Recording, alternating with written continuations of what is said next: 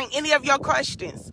Give him your ticket. This officer is right here harassing my son. She already have his driver's license, registration, and car insurance in her hand. She's asking if he's on parole or probation. And he has to answer her. He said, no, he's not on parole or probation. I said, go give him the ticket. And he, she will not. She's just standing there. What are you waiting for, ma'am?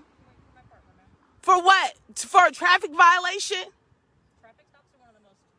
Okay, but you're making this dangerous. You're escalating it. Go give my son his ticket. And we will take care of this in court. You will not be the judge and executioner on this property right here. You will not.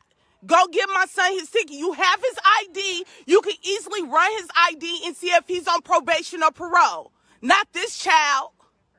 Then go do your job. Why are you standing there? Why and why are you holding on to your gun?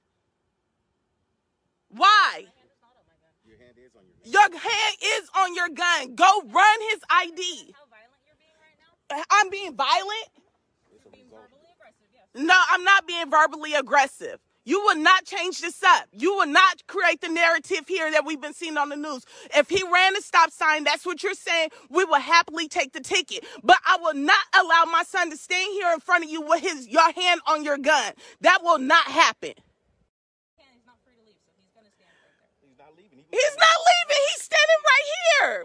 My son is not leaving. No, he's standing on our property line. We own this house. He's standing on our property line. You said he ran a stop sign, right?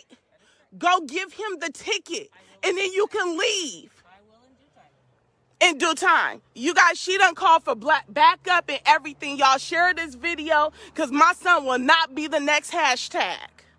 Not gonna happen.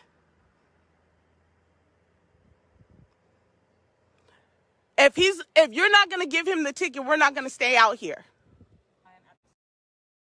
Then go give him the ticket.